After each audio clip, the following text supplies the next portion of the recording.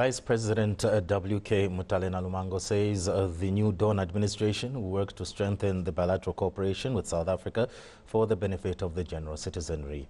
Mrs. Nalumango says the two countries continue to treasure peace, unity, rule of law and protection of human rights. She said this when South Africa's High Commissioner to Zambia, George Twala, paid a courtesy call on her at her office. And the Vice President says Zambia values the relations it shares with South Africa, which had blossomed over the years, as can be attested by the high-level exchange of visits between the two countries. Meanwhile, Mr. Twala disclosed that South Africa and Zambia have continued to enjoy warm and cordial relations.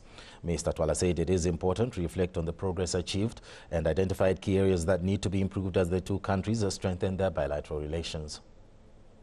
When you are looking at uh, our security in particular, that is what we all need in this region. It is peace and security that we need for us to do all the other things that we need to do. That includes the relationship on trade, which uh, I must say, you know, South Africa has been, you know, and continues to be one of the greatest, uh, you know, uh, uh partner in the economic uh, issue.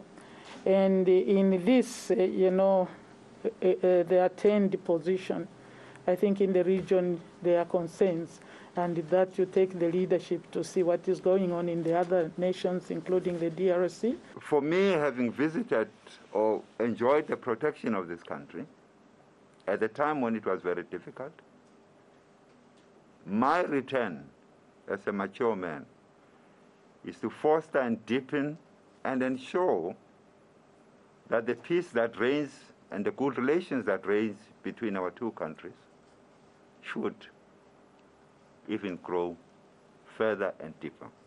But broadly speaking, I want to say I really feel welcome, same as my colleague. We are your children. At any moment, you are free to call on us. We will run. Remember to hit the like button, place a comment, and subscribe. Thank you so much for watching.